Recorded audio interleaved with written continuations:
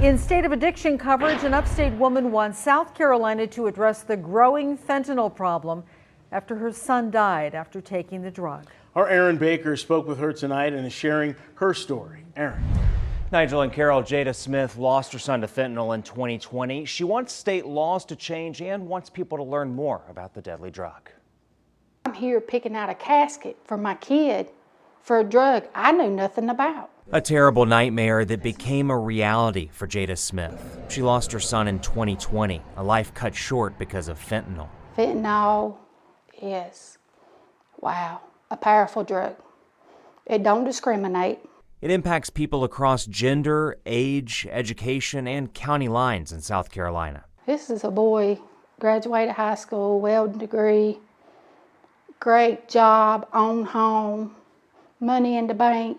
It's a growing problem. In a 2020 report, DHEC said the drug was responsible for 1,100 overdose deaths. And now we're in 2023 and it's getting understood. People's hearing about it, people's talking about it. State lawmakers are talking about it as well. There are two bills that are going through the State House right now. Senate Bill 1, which would allow law enforcement to charge someone who deals fentanyl that results in a deadly overdose with homicide, punishable by up to 30 years in prison.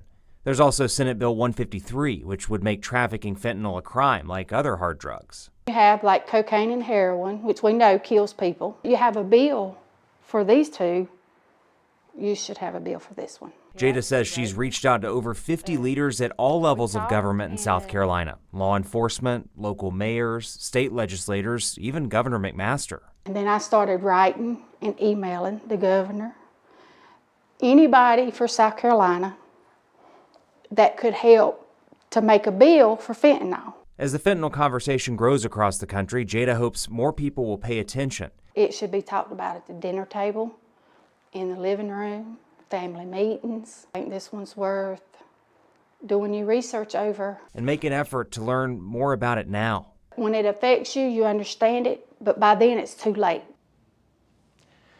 Both of those bills, Senate Bill 1 and Senate Bill 153, are currently in committee waiting for full Senate approval. That's followed by approval from the House and then a signature from the governor. Nigel.